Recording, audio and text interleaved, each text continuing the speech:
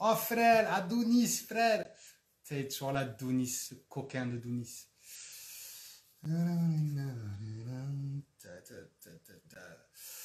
Salut à tous et salut et salut à tutti. Voilà, impeccable. Putain, qu'est-ce qu'il est bon ce.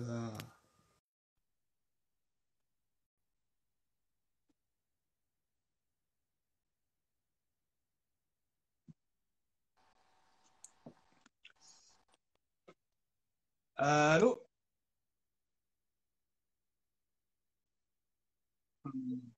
Ah ouais, t'as t'as- t'as- t'as une connexion de, de paysans, non? ouais, je, je crois que je vais changer. euh, je suis dans le bureau, je crois que je vais changer Ouais, ouais, je d'endroit. pense, parce que là, t'as une petite connexion de, petite connexion euh, un peu, un peu chelou, quoi. Mais bon, du, du moment, Est-ce qu'on est mieux? euh, Est-ce est-ce qu'on est mieux là? Ouais, après, du moment que je t'entends, après, bon, la qualité d'image, ce sera pas trop, trop grave non plus, tu vois. L'essentiel, c'est que on te voit déjà, on sait que c'est toi, et puis, euh, et puis qu'on t'entende, quoi, sur ce que tu as à dire. Euh, par contre, euh, renverse le, ouais, renverse que. le, le. Voilà, voilà, au top. Là, on est bien. Parfait. Je, je, je suis, je suis un Ouais, eh, mais débutant écoute, franchement, pour une première connexion, tu as géré, hein. Franchement, t'es arrivé, pam, affichage. On connaît des, des plus avertis qui, qui ont moins géré que toi. Donc, il n'y a pas de souci. Écoute, c'est bien. Là, on est parfait, Alex. Parfait. Euh, bouge, ne touche à rien. On va, on va partir là-dessus. Euh, comment tu vas? Comment se, se- se passe cette euh, crise du Covid pour toi? Euh, Imagine, en tant qu'entraîneur, franchement, c'est la misère. Entraîneur qui reste à la maison, c'est chaud. je, Et bon, comme tu es très actif. je suis jamais resté aussi inactif, je pense, de toute ma vie, euh, toute, toute action confondue. Euh, du coup, euh, comme on est, on est un compétiteur, on finit toujours par faire, pour, Ouais. par trouver des choses. Donc, on a amélioré ses recettes de cuisine, ce qui est pas très bon pour euh, le reste de la vie, mais c'est, ça a été nécessaire. Et puis, avec des copains du polo, des, des bien connus, des Denardi, des Missy, on a, on a lancé une, des France Water Polo et tout ça. On a lancé une petite Ah ouais. de poker. Et on se retrouve sur Winamax euh, un petit peu tous les jours. Et, euh, et du coup, ça nous permet bah, de, de garder le goût de la compétition un Bon, vous retrouvez entre joueurs, quoi. Entre compétiteurs. Ouais, on, on- on- on garde le contact avec le monde du polo parce que je pense que c'est quelque chose oui. qui est important. Et euh, j'en profite pour te remercier d'avoir eu cette initiative qui doit pas être qui doit pas être facile tous les jours euh, pour se renouveler, pour avoir affaire à, à tout le monde et, euh, et qui nous permet de, de garder euh, le contact avec cette passion et, et de traiter de tous les sujets. C'est quelque chose qui est euh, qui est profitable à à tous. Et c'est vrai que le, le bassin nous manque. Euh, je, crois, m- je crois même que même ceux qui n'aiment pas nager, ils ont envie de se prendre une série dans la, aussi, ouais. Ouais, dans la je pense qu'on de, pour avoir une, et de reprendre un 4 peu. x 2 là. C'est Bah écoute, ouais, c'est euh, pas la meilleure des séries du monde, mais je crois ça, ouais, exactement. Bah, après, cette initiative, elle est dans exactement, ça serait exactement dans ce que tu as dit. C'était à un moment donné, ben, nous tous nous rapprocher en tant que communauté de water polo. Et euh, forcément, euh, dans une optique, on va dire, médiatique, où forcément on parle toujours que de l'élite ou, ou de l'équipe de France, c'était important aussi de, comme tu dis, d'aborder, d'essayer d'aborder tous les sujets et d'essayer de parler un peu de tout le monde et Ouais. puis surtout d'aborder des sujets qui, à mon sens, sont importants pour le polo français et certaines questions qu'il est, qu'il est important de se poser et qu'il est important surtout, je pense, de débattre parce que tout le monde n'a pas le même avis et je pense qu'aujourd'hui, dans le polo, il n'y a pas assez de communication, ne serait-ce que déjà euh, au-dessus mais il y en a encore moins au-dessous. C'est-à-dire que euh, a vraiment une réelle euh, difficulté de tous communiquer entre nous. Et je pense que c'était voilà, la chose à faire. Et puis je suis très content de, de l'effet que ça a pris et, comment ça a marché. C'est bien. Donc écoute, on continue un peu. Là, forcément, comme tu as dit, là j'ai baissé un peu le rythme parce que forcément, une fois que tu as passé euh, tous les sujets, on va dire phares, ça commence à être compliqué de, trouver des trucs à, à, à lancer. Donc après, voilà, forcément là aujourd'hui. Là, ça, on va passer sur les entraîneurs. Je vais essayer derrière d'avoir des présidents ou des managers de clubs qui pourraient être, super intéressants justement pour ça.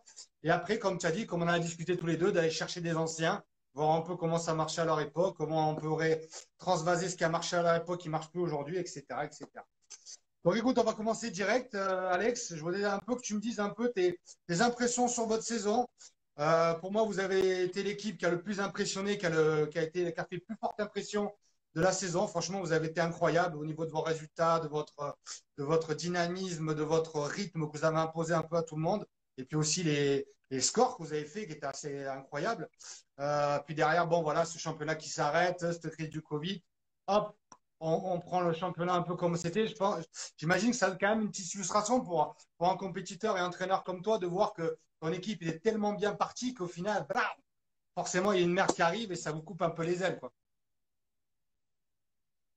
C'est vrai que je vais reprendre un petit peu euh, euh, le fil de ce que tu as lancé. Euh, je pense qu'il y a quelque chose qui nous a été très profitable, c'est la mise en place des nouvelles règles. c'est vrai que la dernière intersaison, on a perdu du très beau monde. Personnes comme, comme Hugo, comme le japonais qu'on avait, qui était vraiment atypique, qui fait partie un petit peu de toutes ces petites trouvailles qu'on arrive à faire un petit peu tous les ans. Euh, voilà, euh, Van der Meulen, on a perdu un très grand nombre de joueurs et de très grande qualité. Et c'est vrai que reconstruire, c'était quelque chose de très compliqué.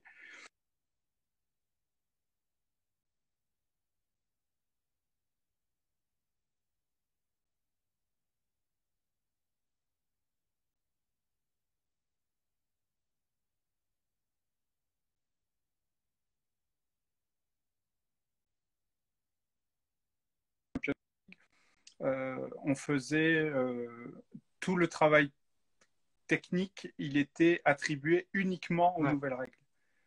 Et j'ai construit cette équipe parce que je savais que je ne pouvais pas avoir une grosse pointe, que je savais que j'allais vers un dynamisme un petit peu nouveau, euh, toujours cette volonté de relancer, de faire des paris sur des joueurs qui étaient peut-être un petit peu en perte de vitesse, qui étaient un peu moins bien dans leur club, mais qui ont un gros potentiel, comme Albert Espagnol, euh, Maroye Gloaïch euh, ou Gagulic, des garçons comme ça. Et, euh, et c'est vrai qu'en fait, notre équipe a bien, s'est bien collé aux, nouvelles règles. On peut voir que les Espagnols et les Grecs étaient également dans cette mouvance, dans leurs résultats, par leur gabarit, par leur jeu méditerranéen, par leur volonté d'aller vers l'avant, de toujours créer un mouvement, un décalage, de ne pas être dans les bras euh, de l'adversaire. Et euh, finalement, c'est ce qui a défini notre jeu cette année. Je pense qu'on a été l'équipe qui avons le plus collé à cette nouvelle euh, nouvel esprit de, demandé par la FINA.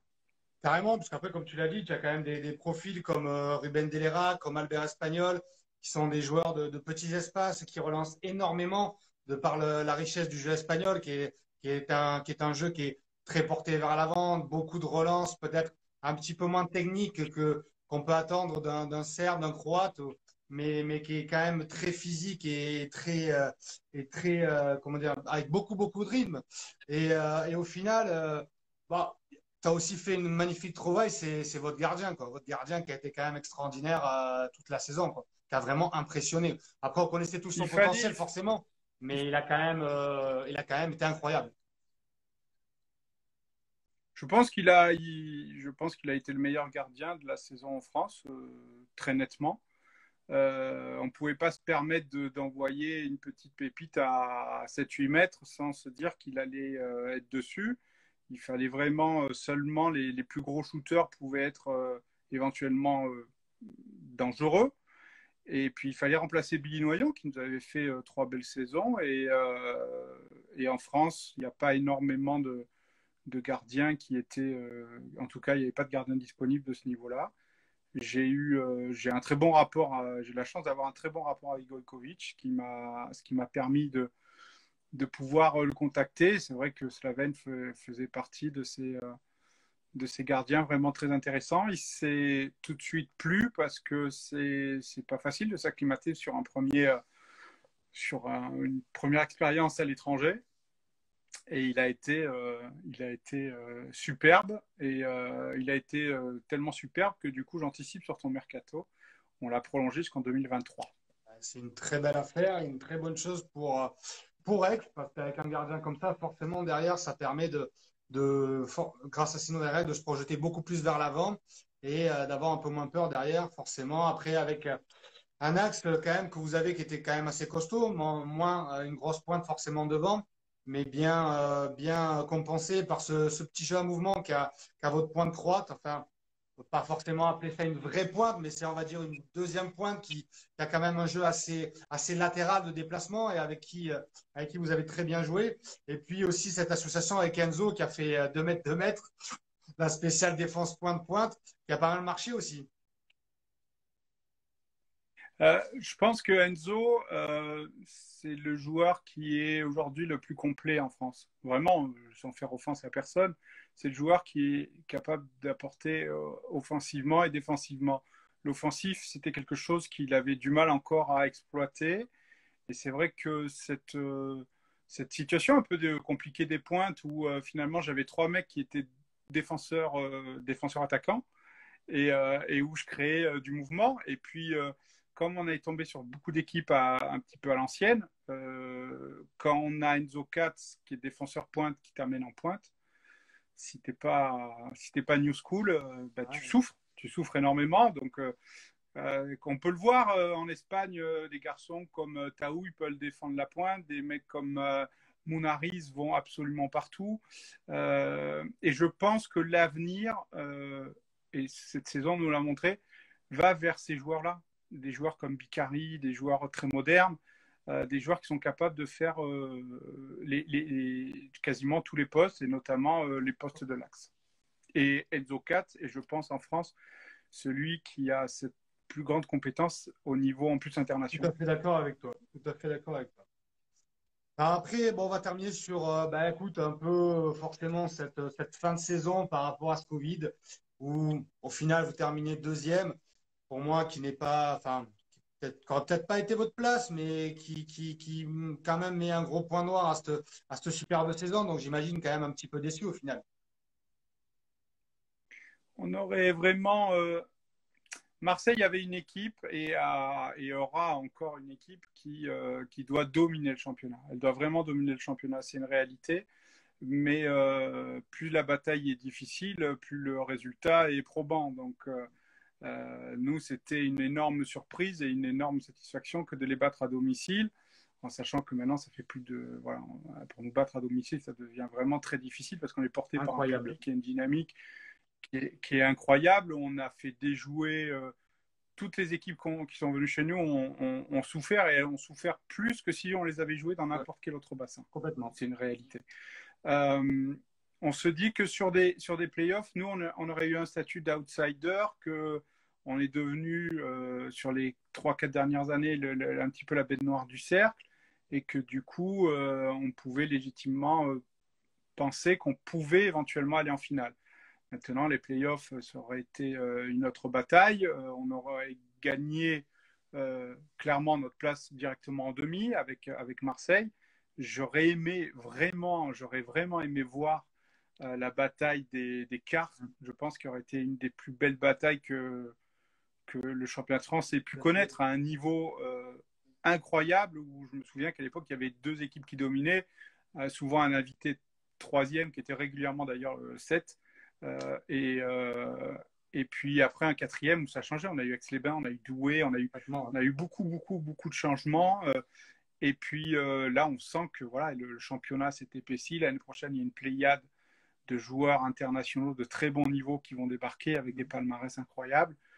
Euh, d'un côté, c'est bon pour le championnat. D'un autre côté, euh, j'applaudis la réforme de 2021-2022, mais qui doit s'accompagner d'un gros travail au sein des clubs et au sein de la formation parce que euh, on ne peut pas faire d'un âne un cheval de course et sans, sans dénigrer personne parce qu'aujourd'hui, on a une des meilleures formations en France. Moi, je les vois au quotidien. C'est pas suffisant. C'est vraiment pas suffisant.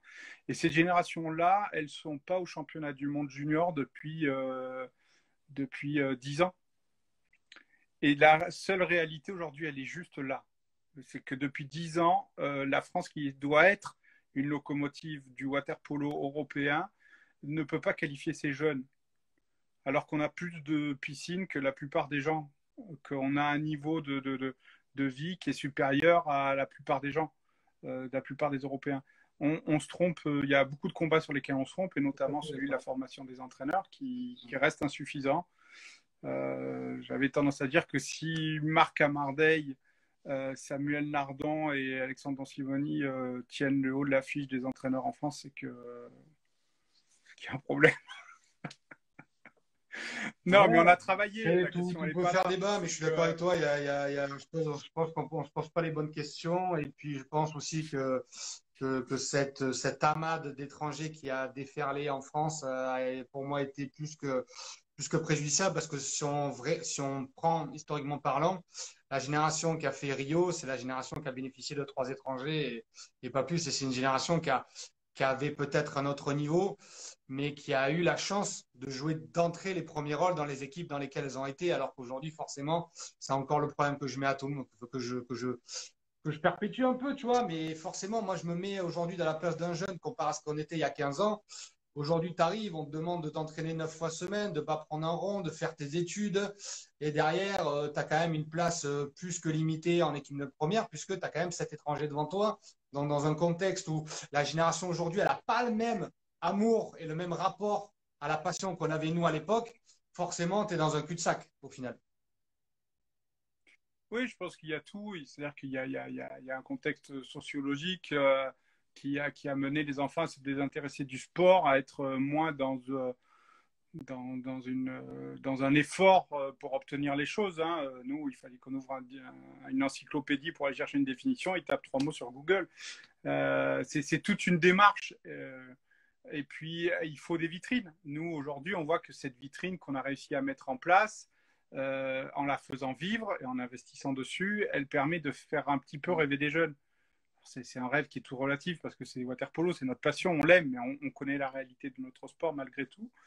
Euh, mais quand on voit que économiquement, euh, les, Espagnols ou les Monténégrins ou plein de pays, ou les Canadiens, les Australiens, c'est vraiment euh, très compliqué qu'ils arrivent à sortir plus de monde que nous. On ne peut pas avoir moins de joueurs que le Canada.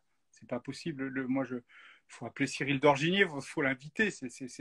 Aujourd'hui, il est un des grands formateurs du, du Canada et quand ils voient ce qui se passe en France, c'est anormal. On ne peut pas perdre la Hollande, on ne peut pas perdre la Roumanie. On ne peut pas perdre la Hollande, la Roumanie, l'Allemagne, tout ça. Je sais que c'était la grande discussion que j'avais avec Ballard tous les jours pendant deux ans et qui me disait mais comment vous faites pour en être là où vous êtes dit, vous avez les plus grosses infrastructures au monde, vous avez le pays, un des plus pays les plus riches au monde, vous avez tout si vous arrivez à rien faire. Je dis, ouais, mais mec, c'est pas moi, pas moi qu'il faut le dire. Ça. Je sais que je vais être un acteur derrière qui va pouvoir changer les choses. Mais actuellement parlant, moi, je ne sais pas, j'ai pas de réponse à te donner. C'est vrai que c'est compliqué. Je suis d'accord avec toi. Dany, en plus, est devenu. J'ai eu la chance que ça devienne un ami euh, grâce à nos échanges poloistiques. Euh, euh, il, a, il, a un nouveau, un nouveau challenge qui s'offre à lui. Je suis très content pour lui. C'est c'est mérité. Et d'ailleurs, euh, il mérite euh, de plus gros challenges encore. Il faut que nous aussi, on se penche de temps en temps sur des, sur des coachs de cet acabit-là. Ça nous ferait du bien d'avoir cette capacité d'échange. Euh, mais 2021-2022 va peut-être être un tournant comme la génération 83, la défaite contre la Belgique avait été un tournant. Il, il, faut vraiment, il faut vraiment, de toute façon, tout changement sera bénéfique parce que pour le moment, on est, on est vraiment déconnecté, on n'est pas sur le, sur le bon filon. Je pense qu'il y a plein, plein, plein, plein de choses à faire. Mais euh, des fois, j'ai l'esprit très critique. Euh, ça, me, ça me dessert assez souvent. Je crois mmh. que tu connais un peu ça.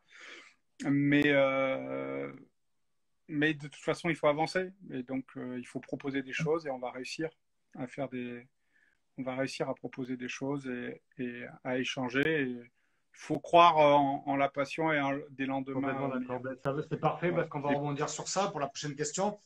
Forcément, après, voilà, toi qui, qui, qui, est entraîneur du PAN, mais bon, on te connaît tous, on sait que tu es, comme beaucoup d'entraîneurs en France aujourd'hui, multifonction dans un club qui est quand même un caractère aujourd'hui énorme, mais dans lequel on se rend compte aujourd'hui forcément que as plusieurs personnes qui sont obligées de faire beaucoup de choses, sinon ce n'est pas possible. Euh, quelles conséquences aujourd'hui tu tires un peu de cette période du, Covid? Euh, Qu'est-ce que le club du PAN a mis en place un peu pour essayer de, se sortir un peu de, ce mauvais pas? Parce que forcément, un club d'association sportive dans lequel il n'y a pas de gamins à l'école de nat, il n'y a pas de personnes à l'aquagym et tout, c'est un peu un club dans la merde. Quoi. Donc au final, euh, quelles, sont, quelles vont être pour vous Je pense que vous en avez déjà parlé au niveau du club les conséquences du Covid et qu'est-ce que le club voilà, pu peut-être mettre en place pour essayer d'aller de l'avant et de se sortir de cette mauvaise passe, comme on dit? Il y, a, plusieurs, je, vais couper ça un petit peu en plusieurs départements. Le, département des jeunes, la section jeunes, ou qui a une, mission qui, qui, est autre que celle forcément du haut niveau. À cet âge-là, si on ne s'entraîne pas pendant 4-5 mois, euh, c'est comme si on avait quasiment perdu une année. Ça veut dire qu'en fait, déjà qu'on n'est pas excessivement bon, on va avoir des 15 ans qui vont avoir un niveau de 14 ans. et, et, ça, c'est une réalité. Et puis après, il y a aussi euh, tout le côté euh, exutoire, développement, estime de soi, toutes les valeurs du sport que l'on peut véhiculer. c'est un vecteur qui est, qui est mort. C'est un vecteur qui était à l'arrêt. Et, euh, et, pour le bien social, pour euh, le, ce que le sport doit être central dans le développement de l'individu, et a été à l'arrêt. Donc toute relance sera bénéfique dans ce sens-là. Le problème, c'est que cette relance-là, elle est sur un établissement qui est euh, très favorable à la contamination, très, très fermé, très particulier. et donc je pense que les reprises en milieu aquatique vont être euh, longues, vont être repoussées et, ça peut poser des problèmes économiques au sein des, euh, des collectivités. Euh, sans, sans, parler de la problématique de ce que vont être les, les répercussions sur les subventions mmh. étatiques au, au, niveau des clubs, euh, il va y avoir aussi la question des, euh, qui, a été soulevée dans la plupart des fédérations par rapport aux cotisations. Euh, il faut savoir quand même qu'aujourd'hui, quand on paye une cotisation, qu'elle soit de 200, 300, 400 euros, peu importe, dans un milieu qui n'est pas anglo-saxon, on ne paye ni l'entraîneur, ni les lignes, ni le premier déplacement au premier déplacement, le premier sandwich, la nuit d'hôtel, le train, on a déjà tout payé. si tu vas au Canada, en Australie, aux États-Unis, tu payes la totalité la totalité du système. C'est pas ce qu'on a demandé. Le système français, il est fantastique là-dessus, mais ça va forcément avoir une répercussion euh, sur ça et sur un état d'esprit français qui dit ben, Moi, j'ai payé ma cotisation, il faut que tu me rendes euh, ce que tu m'as pas donné. Sauf que c'est pas tellement vrai. Ça va être vrai pour une séance aquagym, mais ça va pas être vrai pour, euh, pour le reste. Donc, il faut ça, va ça, va concerner plusieurs euh, compartiments. Ensuite, nous, on a été l'un des clubs qui avons suivi, on a suivi un petit peu ce qu'avait fait Montpellier à l'époque, et on a essayé de l'améliorer, on avait fait quelque chose de différent, et on a euh, mis en place un club des partenaires qui euh, permet de remplir les gradins et d'avoir ce décorum. Parce que nous, on est très fiers de ce décorum qu'on a, qu'on arrive au bord du bassin, où on est un petit peu une des rares équipes où euh, les adversaires sont contents de venir jouer chez nous. C'est incroyable.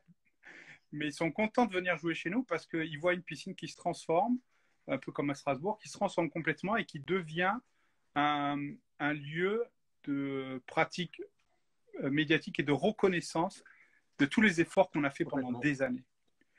Et, euh, et, ça, les partenaires, ce sont des entreprises, la plupart sont des PME. Je sais qu'à Noisy, il y a beaucoup plus de grands groupes, par exemple, qui vont peut-être être touchés différemment. Mais celui qui va être le plus touché ah, aujourd'hui, c'est la PME. Et la PME, aujourd'hui, elle va être euh, touchée de telle façon qu'il va y avoir euh, une baisse de l'accompagnement euh, des, des, clubs, qui est logique et qui est compréhensible, même si on pourrait voir le problème à, à l'inverse en disant que c'est peut-être le moment de mettre un coup de ah, collier quand on est un peu en difficulté. Mais cette réalité économique, elle est là, elle est dans le tribunal des commerces qui aujourd'hui euh, dépose, voit des dépôts de bilan tous les jours. Et donc, on va avoir une réduction de la masse salariale. Et euh, avec, tout à l'heure, tu soulevais l'année extraordinaire de mes joueurs. Et franchement, euh, ils ont été fantastiques. Et donc, la première des respects que je devais avoir, c'était envers eux. Donc, la première des les premiers joueurs que j'ai contactés, c'est eux et c'est ce qu'ils voulaient continuer l'aventure. S'ils me disaient tous oui, à part un, parce qu'il fallait malgré tout que je réduise euh, cette masse salariale, euh, et puis en faisant des efforts aussi, euh, tout un chacun, moi le premier. on a réussi, le club a réussi à limiter la casse, et du coup, l'année prochaine, on aura un joueur étranger en moins et on, on, a des jeunes garçons qui ont gagné les U21, les U17, qui sont internationaux dans, dans leur catégorie. On va leur tendre la main. Leur tendre la main, ça ne veut pas dire leur offrir quelque chose immédiatement. Ça veut dire, je, tu as la possibilité, maintenant il faut que tu me montres. Aujourd'hui, je vais attaquer ma 15e année au sein du PAN. C'est quelque chose d'énorme. Euh, notre plus grande fierté, c'est d'avoir réussi à, monter comme on l'a fait et surtout d'avoir construit cette école de formation qui aujourd'hui est, reconnue, et, euh, mais qui, qui, reste insuffisante. Et ces jeunes-là doivent comprendre qu'à 17 ans, ils ne sont pas prêts. Ils ne sont pas prêts, mais ils ont la possibilité à l'entraînement de le devenir et de travailler. Et donc, euh, j'ai des garçons qui vont s'entraîner uniquement avec le groupe euh, pro, 3 2003 et 1 2002. Et ça sera à eux, euh, à chaque match, de montrer qu'ils ont la possibilité. Ça fait des années que j'intègre des jeunes dans, mes matchs et euh, je vais continuer à le faire. Et j'espère que là-dedans, on aura la possibilité de trouver un, deux, trois mecs euh, sur les nouvelles générations, si on arrive à les faire jouer. Le projet des étrangers de la saison d'après va dans ce sens-là pour qu'on trouve quelques mecs pour aller euh, titiller 2020, 2024, euh, une place en 2024 et être le renouveau du polo français. Mais il faut que le passé nous serve de leçon et pour le moment, euh, il ne nous a pas beaucoup servi. du coup, ce qu'on peut en déduire, c'est que votre projet club, c'est de maintenir la dynamique que vous avez. Forcément, mercato, ben, tu viens de le dire, tu es obligé de te séparer d'un joueur, donc forcément, il n'y aura pas de renfort, comme on peut, comme on peut dire l'année prochaine cette année, ouais. Euh, puis c'est surtout qu'après, derrière, l'année prochaine, comme tu as dit, il y aura sûrement cette, cette règle qui sera adoptée des quatre étrangers. Euh, donc, ce qui permettra derrière, voilà, de, de, de, de ce qui permettra, je ne sais pas ce qui permettra, ce que ça va permettre, mais c'est pour moi, ça va être un, un beau bordel qui est déjà en, en place aujourd'hui. On en parlera tout à l'heure avec Jonathan parce que ça a été, pour moi, c'est un des ceux qui est le plus touché par ça avec euh, de nouvelles recrues françaises qui, pour moi, lui ont coûté un peu trop cher. Mais bon, après, ça, c'est les débats de chacun. Et donc, du coup, ben voilà, ben écoute, euh, tu as, enchaîné sur, le projet club et, la formation. Justement, c'est les questions que je voulais, te, poser. Donc, du coup, voilà, Mercato, projet club, formation, ben, tu as répondu à tout. Voilà. Donc, euh, donc écoute, euh, Alex, je te remercie beaucoup d'avoir été avec nous. Merci à toi. Continue ce que tu fais. Hein. Euh, c'est très bon pour nous tous. Et puis, ce qui est bien, c'est que tu vois, de, faire tous ces lives, au final, moi, ça en sort euh, des, des, des, évidences et comme tu disais, des, problématiques et pour moi, des, questions qu'on occulte depuis trop longtemps et qui sont en train de me lancer sur des projets qui, qui, devraient être euh, très intéressants pour le polo français et, dont j'espère que tout le monde voudra travailler dessus d'ici un à deux ans. On verra. On verra. Écoute, je, ne doute pas de ta passion exacerbée pour le polo et que tu arriveras à, trouver les moyens pour, euh, pour transmettre euh, cette passion-là et d'une façon ou d'une autre. Voilà. Alex, je te remercie beaucoup. Je te souhaite euh, vraiment toute la réussite à toi, à ton club, à tes dirigeants, à tes joueurs et à tout le monde que je connais vraiment que je connais bien et que j'estime beaucoup. Donc voilà, tout, tout, mon soutien et toute la chance pour vous. Et puis on se voit, euh, on se voit en septembre ou en octobre ou, très bientôt, de toute façon. Voilà. Exactement. À bientôt, ciao. ciao. et encore merci. Ciao. ciao. Merci. Allez, impeccable. Donc, on a vu euh, Alex Don Simoni, entraîneur du PAN euh, depuis plus de 15 ans dans ce club qui les a montés de N1 jusqu'à jusqu'à là où ils sont aujourd'hui. Voilà, un parcours extraordinaire. Euh, tout le monde connaît le PAN aujourd'hui, ce qu'il est capable de faire. on rêve tous d'aller. Euh, c'est toujours un rêve d'aller dans, dans cette piscine pour jouer. C'est vraiment euh, une, ambiance incroyable. Et maintenant, on va accueillir Jonathan Guéquer, entraîneur du Tourcoing. Attends deux secondes.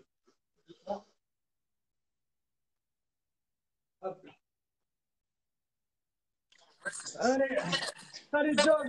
Salut Mathieu, ça va? Comment il va John? Bien et toi? Ça va bien, ça va bien. Va, pas trop. il fait beau, on est bien, On est pas mal, même chez nous, c'est pas mal. Ouais, c'est chez vous, c'est pas mal. Ouais. Allez, euh, Jonathan Guéquer, entraîneur, qui, euh, comme euh, Alex Donsimoni, multifonction dans un club, association sportive, aujourd'hui a repris un peu euh, les lettres de noblesse de ce club emblématique et historique que sont les enfants de Neptune de Tourcoing, pour ceux qui ont connu la, la, grande époque et peut-être un peu la fin aussi. Euh, c'était, c'était une peur bleue d'aller jouer à Tourcoing à l'époque et, et allé rester un paquet de temps. Pour moi qui ai commencé à cette époque-là, c'était, c'était vraiment une peur bleue, surtout quand tu avais le malheur de tomber sur deux arbitres du Nord, tu savais que tu étais qui là-bas. Ça devenait un peu compliqué. Mais bon, tu t'en es toujours bien sorti chez nous, ça va. tu savais que tu allais là-bas, mais tu savais pas comment ça allait finir. Donc voilà, donc écoute, euh, euh, tu sais, toute l'admiration que j'ai pour votre projet, à toi et à tes dirigeants qui, depuis cinq ans, font un boulot incroyable. Il euh, n'y a rien d'autre à dire. Moi je, suis un garçon qui a beaucoup de choses à dire, qui critique souvent, qui dit ce qu'il a à dire et qui est parfois peut-être un peu dur, mais qui a toujours voilà, le, mérite de reconnaître quand les gens font du travail, font du bon travail et qui essaient surtout de faire exister nos sports dans les contextes difficiles qu'ils représentent mais c'est pas forcément évident tous les jours. Et pour côtoyer voilà, des personnes comme toi, je sais que c'est une galère au quotidien, c'est très dur. Et que pour tenir à distance, il faut avoir un gros mental et surtout, euh, euh, comment on appelle ça? Une dévotion à, à, toute épreuve.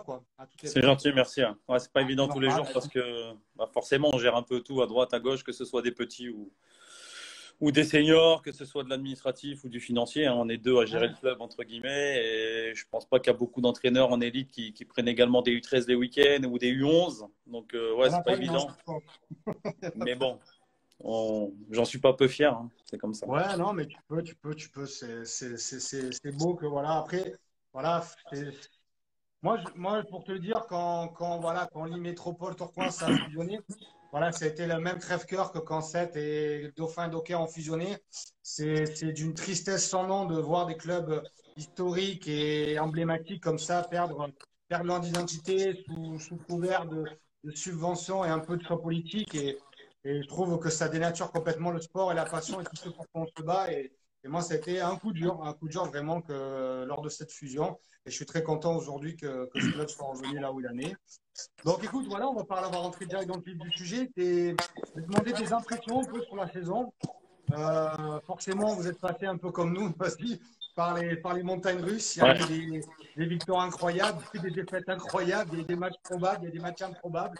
Quel, quel, Qu'est-ce que tu en tires, toi, en tant qu'entraîneur, forcément, de, de, cette équipe de, de Ouais, forcément, un peu, un peu comme Noisy, hein, les montagnes russes. Euh, on commence mal la saison. On, vous perd, on vous perd à domicile alors que de tête, il y avait Mehdi et toi dans les gradins.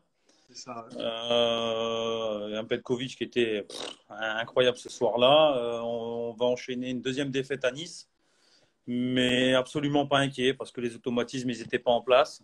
On enchaîne une série qui est incroyable. Et après, on retombe dans nos travers. On peine à battre Douai. On a du mal à les gagner à Reims. Euh, on, perd à 7, mais euh, qu'on remette bien les choses au clair. 7 gagne le match. Ce n'est pas, pas Tourcoing qui leur offre, c'est 7 qui le gagne. Il faut, être très clair là-dessus. Et je pense sincèrement que 7 aurait fait très très mal euh, chez eux à beaucoup d'équipes. Ça, il faut souligner le travail d'Olivier la mentalité des gars parce qu'une fois qu'ils étaient revenus chez eux, ils avaient vraiment cette envie de, remettre les pendules à l'heure et bah, ils nous l'ont fait comprendre tout de suite et nous, on n'a pas été bons. Quoi. C'est ce que j'ai dit quand nous, on a failli perdre, parce que milieu troisième, on a été mené plus 4. Hein. Plus 4 là-bas et je ne sais pas comment on revient, mais on revient, on gagne. Mais quand je suis sorti du match, j'ai dit à toute l'équipe, les gars, c'est pas, pas une surprise. Dit, vous allez voir combien il y en a qui vont venir galérer, qui vont perdre ici. Ne croyez pas que. non, ouais, non, non. Non, carrément, carrément, on est tout à fait d'accord. Euh, qu'est-ce, que, tu peux nous dire un peu sur, sur, sur la physionomie de ton équipe, forcément, euh, avec euh, forcément des cultures différentes, comme, nous à, comme nous à Noisy On a vu qu'à certains moments, ça a été compliqué aussi à, à gérer, et peut-être ce qui, qui, fait tomber ce genre d'équipe dans, dans certains travers, forcément. qu'est-ce, que tu, qu'est-ce que toi, comme analyse, quelle analyse tu fais forcément de, de, cette, de, cette, de ce petit manque de régularité? Ouais, je pense qu'à un moment, on, est tombé un peu dans une suffisance, tu sais. Tu, tu, on, vient euh, début février, on réalise un match euh, énorme chez vous. Euh, défensivement, tactiquement, tactiquement, tout ce qu'on avait voulu mettre en place, ça s'est réalisé à merveille. Donc, je pense qu'à un moment, après, tu tombes un peu dans la suffisance. Tu, tu reçois Nice à la maison, tu, tu, fais un match, tu gagnes de, de je ne sais plus combien de buts. Et après, tu te dis, ben ouais, on va jouer Douai, on va jouer Reims, on va aller à 7 tu te vois déjà peut-être un peu, un, peu trop haut et, tu retombes. Et, et, sincèrement, je pense que la défaite qu'on a eue à 7 nous, nous, aurait fait du bien, en fait, euh, nous aurait mis un peu les pieds sur terre. À combien, à quelle place on aurait terminé, ça, je peux pas te le dire parce que non plus. on était un peu ah, tous euh, au même pied d'égalité. Je pense que vous auriez été très fort sur les playoffs parce qu'avec une expérience comme la vôtre, ça aurait pu basculer, je pense. Après, en ce qui concerne les cultures, euh, moi, je suis très clair là-dessus et euh, tous ceux qui me connaissent le, savent. Je recrute pas de stars. Donc, euh, moi, mes joueurs, ils arrivent début de saison, c'est très clair. Je recrute pas des individualités. Moi, je veux que l'individualité, elle se fonde au collectif. Et si elle n'a pas envie de se fondre au collectif, elle fera pas partie de mon équipe. Parce que je vais pas mettre un joueur en avant pour le faire briller et, manquer de respect ou complètement dénigrer le reste de mon effectif. Donc on l'a vu là avec Randic. Randic a marqué énormément. Pourquoi? Parce qu'il y a eu énormément de joueurs qui ont travaillé pour lui. Et ça, et ça c'est la base du, pour moi du sport collectif. Forcément, il y a toujours quelqu'un qui se met en avant. Les années précédentes, c'était Cédric Roqueta qui, marquait énormément de buts parce qu'on avait mis un jeu euh, pour lui. Et euh, là, cette année, c'était un peu plus en mouvement. Donc on a vu euh, Kujacic et, et Randic en fait performer régulièrement. Ah, complètement, complètement. Bon, du coup, euh, on, va parler, euh, on va parler un peu de, de, cette crise du Covid. Forcément, qui, impacte tous les clubs, comme on en, pas, comme on en a parlé avec Alex. Euh, forcément, c'est quelque chose qui, qui, va être aussi préjudiciable pour vous à chaque fois, j'imagine. Oui, parce que parce qu'on s'est inspiré. J'entendais Alex qui disait bon, on s'est inspiré de Montpellier. Moi, je voilà, je le cache pas, je, je, me suis un peu inspiré de ce qui se fait à Aix parce que je trouve que quand tu vas là-bas, c'est c'est remarquable de voir ce qui se passe dans les gradins, de voir cette communication autour du club. Et du coup, on avait commencé à vraiment travailler euh, sur les partenaires privés, sur, euh, sur ce petit groupe un peu de, de, PME, comme Alex disait. Et forcément, il y a un impact. On ne peut pas le cacher. Aujourd'hui, on a arrêté, euh, on a fait un bilan à moins 40 000. Donc euh, ça, c'est la perte de partenaires, hein. ce n'est pas les, les, comptes du club, mais on sait qu'on va, on va perdre au minimum. Non, non, mais je rassure les, les gens, quand on n'est pas en faillite. Mais après, derrière, fais attention, parce que tu sais qu'on voit que les légendes après le dart, ouais, non, ah. ils sont plumés, c'est fini. Radio Polo, c'est incroyable. Mais, euh, mais du coup, oui, on sait qu'on va perdre 40 000 euros de sponsors. Euh, J'espère que ça ne va pas s'alourdir parce que c'est un projet sur des années, voilà, sur les années futures. On n'a pas pour habitude d'exploser le budget d'une année à l'autre. On est plutôt un peu dans, dans l'économie pour pouvoir perdurer sur ce genre de performance. Maintenant, euh, maintenant, ouais, on a de la chance aussi d'avoir des partenaires qui nous soutiennent encore et qui, qui nous rassurent en disant voilà, même si on ne peut pas vous donner ce qu'on prévoit, on ne vous lâche pas. Et ça, c'est la preuve qu'on arrive à professionnaliser un peu le sport à tout point, quoi. D'accord, bah, c'est cool, c'est bien. Et euh, qu'est-ce que j'allais te dire? Est-ce que, forcément vous avez dû mettre en place des, choses au niveau du club pour essayer de passer cette, cette, cette période ou, ou est-ce que euh, forcément là vous vous dites euh, bah, avec 40 000, est-ce qu'on va devoir faire des choix? Est-ce qu'on va devoir changer notre façon de faire? Ou est-ce qu'on va forcément devoir changer de façon de, de, de, de, de comment tu appelles ça? De, fonctionner? Parce que j'imagine que quand même 40 000, 40 000 euros en moins, c'est quand même un chamboulement au final. Oui, forcément. Forcément, il y a des efforts à faire un peu à tous les étages, euh, les dirigeants en premier. Euh, après, on essaie de trouver des systèmes avec peut-être des apparts en colocation pour éviter euh, forcément de mettre un joueur dans chaque appartement qui, coûte des frais et des charges énormes. On, va potentiellement changer de partenaire alimentaire pour pouvoir aller dans des établissements publics pour faire des économies là-dessus. Euh, après, derrière, euh, non, comme je te disais, on ne flambe pas. On n'est pas là à se dire, euh, tiens, on va éclater, éclater le budget. Et puis, si on a, voilà, s'il y a une faille dans la saison, on verra comment on avise. On, a, ouais, on a des dirigeants qui sont plutôt voilà, prudents et, et, qui gèrent ça d'une main de maître. Parce que moi, j'ai connu, bah, tu le sais très bien, un peu toutes les étapes et toutes les présidences. Et on le disait quand il y a, il y a eu la réunification des clubs. Moi, c'est ce qui a ce qui a coupé en fait mon envie de jouer au polo euh, exactement dans ce club-là où euh, je te prends je te prends des mecs surpayés, surcotés. Là, je t'entendais tout à l'heure en parler avec Alex, mais euh, non, il y, a, eu des, des, sommes. Moi, quand je suis arrivé, sincèrement, Mathieu, j'ai repris les comptes avec Julien Hoss, le manager du club. Quand il m'a montré, quand il m'a montré les relevés de budget annuel sur des joueurs, waouh, je me suis dit quand même, là, on, on, touche le fond en fait. C'était ah. aberrant. Et j'ai des joueurs, je ne vais pas citer de nom, mais j'ai des joueurs qui ont décidé, après la première année où je suis arrivé entraîneur, de rester avec nous, mais pour 30 euh, à 40% de moins. Ce qui veut dire que quand tu contactes, un, quand tu dis à un joueur, écoute, moi je te conserve, mais tu vas toucher 700, 800, peut-être 1000 euros de moins par mois, et qui reste, c'est qu'à un moment, ils le savent. Donc, euh, donc ouais, ça a, été, ça a été, pour moi, ça a été catastrophique. Ça a été, euh, ils ont fait les Américains et ils sont tombés, ils sont tombés plus bactères, quoi. Aujourd'hui, on a. pour moi, le plus gros problème aujourd'hui, enfin, ce qui a été le talon d'Achille de, de, tous ces clubs un peu, on va dire, emblématiques, c'est qu'à un moment donné, quand les, quand les figures phares et gestionnaires phares de ces clubs ont un peu passé la main à, à, des, à des personnes bénévoles, comme on dit, qui étaient là depuis longtemps, mais qui euh, n'avaient pas cette main de maître, comme tu dis, de, de leurs prédécesseurs pour gérer ce genre de choses, et qui, le lendemain, se retrouvaient avec plus d'argent que les autres, forcément, comme tu dis, tout le monde a fait les Américains, ils se retrouvés à, à se, à se, à se s'en mordre dans la langue, parce qu'au final, gérer un club, c'est pas anodin. Et c'est pas en étant bénévole à temps partiel que tu peux, que tu peux, que tu peux le faire. Et, c'est vrai qu'il y a beaucoup de cas qui montrent qu'à un moment donné, ça a ses limites et que c'est quand même assez dangereux à arriver à un certain moment. Ouais, ouais. Et puis l'amour, euh, l'amour de ton sport. Je veux dire, quand tu arrives, euh, quand arrives et que tu es là et que tu te dis, bah, moi, sur trois ans, je veux faire ça parce qu'après, je m'en vais. Hmm. Bah, je pense que déjà, tu n'es pas sur la bonne ligne conductrice. Ah euh, soit tu aimes ton sport et tu fais un projet sur plusieurs années. Quand je suis arrivé au club, moi, euh, je me souviens, le président, quand il est arrivé chez moi pour me demander de venir, quand je lui ai dit, mais s'il faut faire jouer des jeunes, autant qu'on aille en une et qu'on remonte plus tard. Ouais, il, a un peu choqué. Mais, c'est ça, en fait. C'est qu'est-ce que tu veux faire? Est-ce que, dans, dans 10 ans, tu veux encore être en haut de l'affiche ou est-ce que tu veux, exister sur quelques années? Et là, ils ont adhéré au projet, on s'en sort bien. Euh, on reprend la formation de tout en bas parce que c'est pas un secret pour personne. Euh, la, négligence, la négligence de mon prédécesseur, elle a été euh, incroyable. Donc là-dessus, on n'avait aucune formation et, Doué avait le monopole. Il faut, il faut pas se leurrer. De toute façon, tout le polo français le sait. Aujourd'hui, on repart. moi, j'ai, on a obtenu un titre régional avec les U11 l'an dernier. Les U13 qui sont derrière Doué parce qu'ils ont un, gros pôle et moi, je suis en train de monter aussi un, un sport-études de mon côté pour pouvoir essayer de concurrencer un peu. Mais voilà, on repart de tout en bas. Quoi. Et c'est un projet qui va mettre au moins 10 ans à, bien sûr. aboutir. Quoi. Donc, bien sûr. Le créer, c'est bien. le, créer, ça peut aller très vite. Tu le crées, c'est très bien.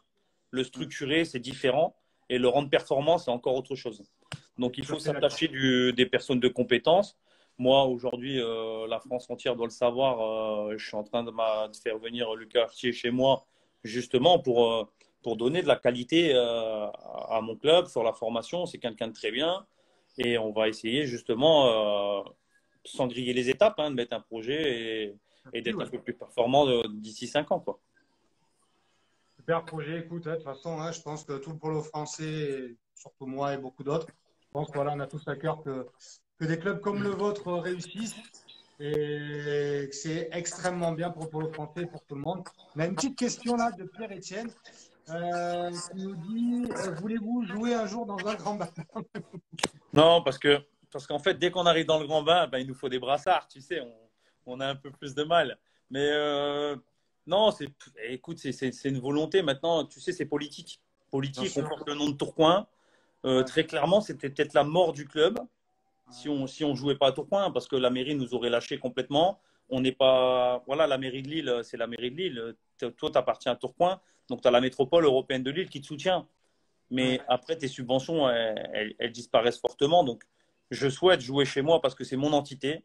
Euh, moi, quand je viens à Tourcoing, j'arrive à faire venir des gens et ils prennent plaisir à venir.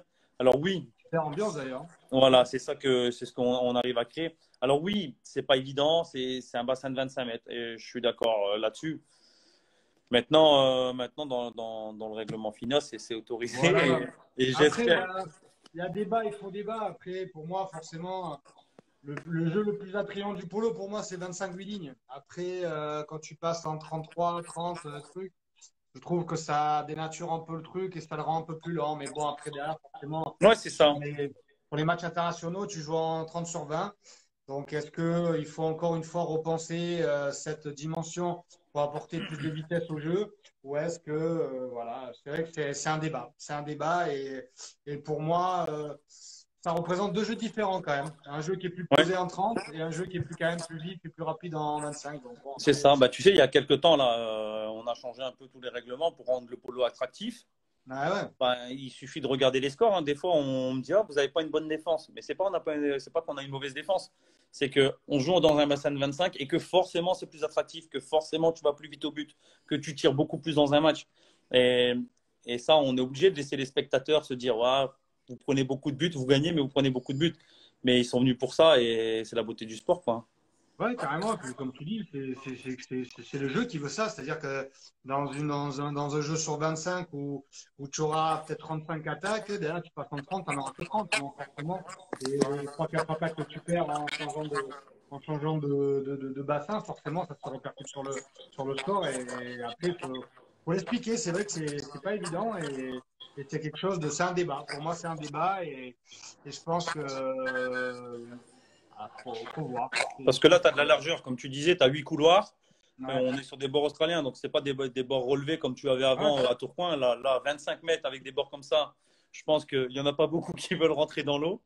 Mais, euh, du, coup, tu as quand même beaucoup d'espace. Tu vois, euh, les pointes, elles, peuvent jouer. Euh, sur les extérieurs, tu peux faire des rentrées. Tu as, as l'espace nécessaire. C'est juste qu'il te manque de la longueur. Quoi. C'est vrai, après, est-ce que voilà, tu vas passer sur 28 ou de 30 C'est vrai que c'est compliqué. C'est compliqué. C'est pas trop.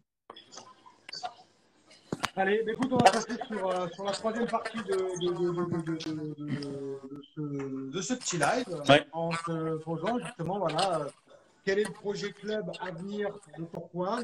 Et forcément parler de mercato et de formation et d'étrangers, comme on a parlé avec, euh, avec Alex. On va, partir, on partir dans les, dans les, sujets sensibles. Après que toi et moi, on a, on a une grosse discussion en enfant en privé. Exactement. Que, on s'est compris, on s'est parlé. Mais bon, voilà, on va, on va aborder le sujet parce que je vais l'aborder avec tout le monde de toute façon. Donc, quoi qu'il arrive, c'est bien d'avoir la vision et la, le, le fond de pensée de chacun. Donc voilà, donc projet club, d'abord, on va commencer. Quel est le projet club pour, pour l'année prochaine pour, pour quoi Et puis derrière, dans quoi vous allez vous lancer comme, comme ligne active et on sait que vous voulez arriver derrière forcément. Nous, le, le, projet reste, il reste clair, hein, c'est d'atteindre les playoffs et, et d'avoir cette qualification européenne.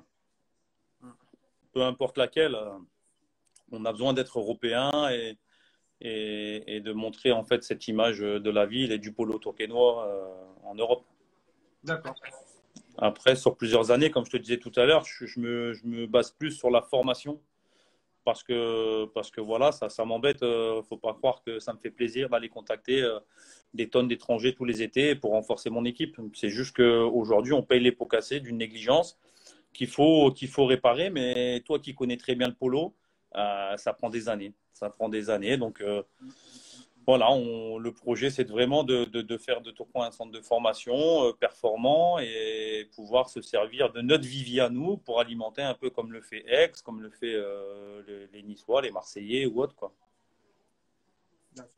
Après, ouais, forcément, comme tu dis, votre, votre, votre, euh, cas, il est un peu particulier et puis il est différent parce que, comme tu l'as dit, tu es arrivé, c'est un champ de ruines, donc forcément, le temps que, de, de, poser le projet, de reconstruire, de l'amener à maturation, et de l'amener à, à, exceller, c'est long. C'est long, c'est très long. Donc forcément, comme tu dis, euh, euh, si aujourd'hui tu as des U11 et des U13 qui commencent à marcher aujourd'hui, euh, il va falloir attendre pendant 5 ans avec les U13 et la, capacité d'être performant et de pouvoir aider l'équipe première. Oui, bien sûr, bien sûr, il faut qu'ils arrivent à, maturation et, voilà, tout le monde sait des U13, des U11, t'es bon, es bon aujourd'hui et tu sais que dans deux ans, tu en perds peut-être 50%. Donc euh, voilà, il faut, il faut le faire. Euh, j'ai une pépite. J'ai une pépite à Tourcoing, vraiment. J'espère que je vais réussir à l'amener euh, à l'amener là où j'ai envie et, on en parlera d'ici quelques années. C'est quoi le futur Tafa ou le futur Ménard mmh. C'est bien aussi. Hein ouais, ce serait pas mal, c'est pas mal. Non, non, mais il y a là, on se renforce en fait, on attire un peu la convoitise des joueurs un peu des alentours, donc du coup, on arrive à avoir du monde. Mais là, ouais, j'ai une pointe qui est très très intéressante pour son âge, qui bouge énormément et, Et du coup, ouais, je pense que lui, on, peut le voir un peu dans quelques années. C'est cool, en espérant que vous arrivez à le garder. Ouais, non, mais j'ai signé un contrat à vie avec tes parents.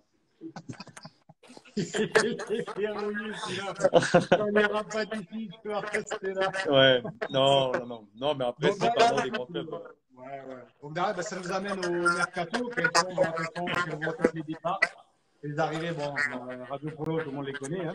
Donc, les mercato, est-ce que ton équipe va bien changer? Est-ce que tu tables sur, euh, sur une physionomie différente ou tu t'es vraiment attelé à essayer de garder euh, un noyau dur? Parce qu'on sait derrière aussi que moi, j'ai entendu Koopman qui rentre en Hollande. Ouais. Euh, le grec aussi, standard. Christos, ouais, sans Christos, on est en pour parler là parce qu'en fait, ça va dépendre du nombre d'étrangers en fait. Aujourd'hui, ah. j'attends des, des, décisions de, de certains joueurs français.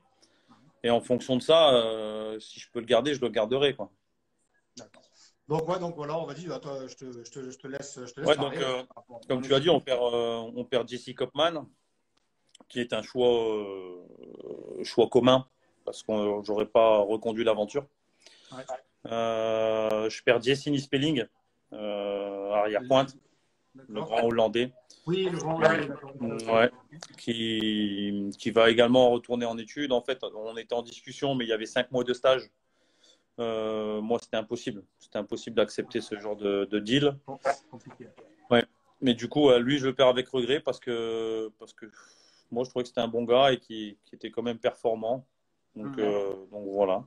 Après, on va perdre, on va perdre qui? On va perdre, on va perdre Jérémy Blanchard. Euh, la deuxième pointe canadienne. D'accord, ok. Qui t'a pris un bout d'épaule. Et, euh... okay. Et... C'était son gros quand même. Il y a 15 ans. Ouais. Tu, tu, je pense que tu le prends pas pareil. C'est pas la même morceau. Ah non, ça, je, je, je, mais, euh, mais du coup, ouais, du coup, avec l'arrivée de Cédric, forcément, il, il va pas, je vais pas pouvoir le conserver. Euh, après, voilà, comme je te dis, on a, on a Cédric Roqueta qui va arriver devant avec euh, Goran Gergulevich. Donc, euh, je pense que devant, je vais avoir de l'appui solide. Mm, ouais. Il n'y a, il y a encore rien d'officiel, mais bon, il y a Charles Canon qui va, qui va intégrer notre équipe. Et je suis sur, sur un secteur défensif, là. J'attends de savoir. Je suis sur plusieurs pistes et puis j'ai des priorités françaises. Comme tout le monde. voilà, exactement. Tout le monde essaye. Hein. Ouais, c'est ça, c'est ça. Mais du coup, il euh, y a ça. Et Théo Avena aussi, hein, avec qui euh, de, de 7. Exact, ouais, j'ai entendu. Ouais. Du coup, c'est un gamin que j'aime bien parce qu'il est discret, mais il fait le taf. Du coup, euh, sur de la profondeur de banc, ça me ça m'intéresse. Ouais, je sais, coach Simon. Euh... Ouais. Je sais, monsieur Don Simoni, je perds Julien Crosetti, ouais, qui va, qui va signer ah, au Racing Club de France. Et, et, sincèrement, alors les gens vont toujours, euh, je, te, je vais te parler sincèrement, Mathieu, ils vont toujours, euh, ils vont, ils vont toujours diminuer son impact dans, dans le. Ah, je t'ai perdu. Attends. C'est bon? Ouais, c'est bon, ça y est. Ouais, ils vont toujours diminuer son impact euh, physique dans l'eau ou, ou, dans l'équipe. Et pour moi, c'est, ça me fait plus mal de perdre Rosetti que de perdre Kopman ou qui que ce soit, quoi. Parce que. Bon, c'est quand même un petit enfant du club au final. C'est quand même un gamin qui, est, même qui a fait des premiers tours. Il a quand même, euh, été, il a quand même joué pas mal de temps sur toi. Et puis ça a été, euh, comme tu dis, euh, c'est peut-être pas un joueur flashy extraordinaire, mais après, c'est sympa comme un, Oui, bien sûr. Et puis c'est un soldat. C'est un soldat. Tu sais que Julien, c'est pas un mec qui va te faire un 100% euh, en, en, match, mais c'est un soldat. C'est un soldat. Moi, je, moi, j'ai adoré l'entraîner vraiment. Donc, euh, c'est lui que je perds avec le plus de regrets. D'accord. Bah, écoute, impeccable. Bah, écoute, on va terminer sur un peu, voilà, forcément, cette discussion qu'on a eue, toi et moi, la fois, sur, forcément. Ouais, attends, j'ai d'autres recrues. J'ai d'autres recrues pour toi. Ah, vas-y, on voit, on voit, on a Quentin Vanille.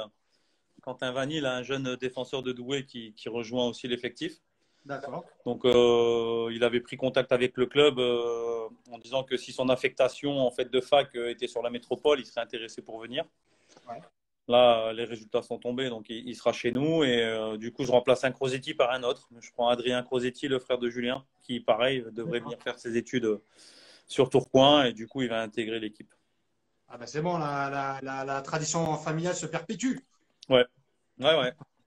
C'est pas mal. Donc du coup, ouais, donc écoute, euh, voilà, on va finir par, ce petit, ce petit aparté là, vite fait, hein, sur, sur, forcément ce, marché biaisé des Français aujourd'hui, où on se rend compte que cette, ben, cette, cette arrivée en masse des étrangers dans notre championnat et, forcément après euh, comme le dit à très juste, euh, à très juste raison euh, Mehdi Marzouki qui dit qu'aujourd'hui, forcément, dans les années précédentes, il n'y a pas eu de jeunes extraordinaires ou d'un niveau assez bon pour pouvoir permettre à une équipe première de maintenir son niveau, son niveau pour, pouvoir viser sur les jeunes. Et j'en discutais avec la présidente de Noisy qui nous dit qu'aujourd'hui, c'est le principal problème des, des, des, des, des clubs. C'est-à-dire qu'aujourd'hui, euh, les présidents et, et, les dirigeants sont en train de se, se rendre compte qu'il y a de moins en moins de, de j'en parlais aussi avec Alex, de, de, de passion, d'investissement, de, de, dévouement pour, pour, pour, justement pour le polo et pour montrer aux dirigeants forcément que en tant que jeunes, on a envie, on a envie d'y arriver surtout. On a envie d'y arriver. Ouais. Et pas qu'on arrive avec un peu un trône des comme le disait Alex. Non, je pense que, je pense que Mehdi là-dessus, il, a raison. Maintenant, le constat, il est où, Mathieu? Est-ce qu'aujourd'hui, on, nous demande d'être performants euh, avec des jeunes, euh, des jeunes Français On nous demande que, de les rendre performants pour l'équipe de France. Et nous, on se doit d'être performants au niveau national, mais aussi en Coupe d'Europe. Est-ce qu'aujourd'hui, le niveau français nous permet d'être performants à tous ces étages? Ah non, absolument pas. Donc, du coup, euh, ouais, il y a eu de la négligence euh, depuis des années. Moi, je pense que l'INSEP, ça a été une, très grosse perte. Donc, du coup, euh, du coup, voilà. Après, oui, oui, forcément, du coup, nous, on est les premiers impactés parce que parce qu'on avait quelques étrangers. Euh, voilà, on faisait partie du championnat, je pense, avec vous, d'équipes qui avaient le plus d'étrangers. On va s'adapter au règlement. On prend des Français, des Français qui, voilà, qui, qui coûtent cher parce que les gens trouvent que ça coûte cher. Mais aujourd'hui, qu'est-ce qu'on fait? Ben, On, s'adapte par rapport à notre budget et, par rapport à, ce règlement-là. Moi, je préfère euh, professionnaliser un Français qui va se focaliser uniquement sur les performances avec son club et pour être performant euh, avec moi et être sélectionnable derrière. Mm. Maintenant, ouais, le marché, euh, le marché, le marché, il a flambé. Le marché, le marché. Il... J'en discutais avec, avec Mathieu Fournier qui me disait, mais attends, mais c'est quoi les prix aujourd'hui? Mais ça, ça me paraît cher, ça, ça me paraît trop. Je dis après, moi, j'ai donné un peu une échelle d'estimation que moi je pense. Et forcément, ouais, je suis d'accord avec toi, le marché il a explosé. Pourquoi? Parce qu'à un moment donné, c'est l'offre et la demande. On a tellement créé une pénurie de Français. Aujourd'hui, on veut baisser le nombre d'étrangers. Mais derrière, il y a des Français, il n'y en a pas, gros. Il n'y en a pas, mec. Il n'y a pas des Français en France aujourd'hui qui, qui ont ce niveau, comme tu dis, suffisant pour te permettre de performer à, tous les étages. Non, non, il n'y en a pas. Je vais remettre mon téléphone en charge parce que sinon on va se perdre. Euh, ouais, non, non, il y en a pas. Dans deux minutes, t'inquiète, on, va, on, a fini. D'accord. Non, je pense qu'il n'y en, a, qu'il y en a pas, ou alors il y en a très peu. Tu vois, et très peu, et ces mecs-là, ils sont dans les meilleurs clubs. Moi, je ne me vois pas aujourd'hui aller contacter un, Thomas Vernou ou, ou, ne serait-ce que Vacassilar de, de, de, Aix parce que, parce que j'ai, j'ai une façon de fonctionner avec Alex. Mais ces mecs-là, tu ne peux pas les, les, faire venir chez toi. Déjà, euh, quand tu contactes un joueur et qu'il te demande si tu as la mer, euh, j'ose pas lui dire que j'ai la mer du Nord. Tu vois euh, quand on, me demande euh, si c'est vrai qu'il pleut, ce que je te dis là, Mathieu, c'est des conversations. Hein. Ah, est-ce que est-ce que c'est vrai, c'est, un mythe ou, ou c'est vrai les températures dans le nord, etc. Et je lui dis une fois que tu es dans l'eau, 27 degrés, que l'eau elle soit à 27 degrés à Tourcoing ou qu'elle soit à 27 degrés à Marseille, c'est le même. Donc si tu viens pour aller te pavaner, reste chez toi, reste chez toi parce qu'on va pas s'entendre. Moi j'ai moi j'ai plein de bosseurs, tu vois. Bien sûr. voilà. Tout à fait d'accord avec toi. Tout à fait d'accord avec toi. John, te remercie beaucoup. Bah, merci à toi. le temps de, de, venir discuter un peu ah, avec moi. Ouais, j'ai Maxime Détier aussi. C'est vrai qu'il y a Maxime Détier qui arrive. Je vois qu'il y a une question là. Pourquoi recruter Détier de N2 Ah ouais, d'accord. Ouais, ouais, bah, je l'ai vu. alors pourquoi? Parce que Maxime, c'est un joueur que j'avais suivi quand il était parti de, de Reims. On l'avait vu au tournoi de Thionville. Et sincèrement, je pense que si on le remet sur les rails, euh, ça peut être une bonne pioche. Et moi, je suis un mec de challenge. Donc, du coup, euh, voilà. C'est mon taf à moi de, de prouver à Pierrot Etienne d'ici quelques mois que je ne me suis pas trompé sur le sujet. Et, et, je pense que ce sera un élément important du groupe. Allez, super. Voilà. écoute, je te remercie beaucoup d'avoir été avec nous. Merci d'avoir répondu présent. Je te souhaite bah, tout, toute la réussite possible avec Tourcoing. Et puis on se revoit très bien ou on se revoit au bord des bassins très bientôt. Exactement, avec plaisir. Salut, prenez soin de vous. Hein. Ciao. Ciao.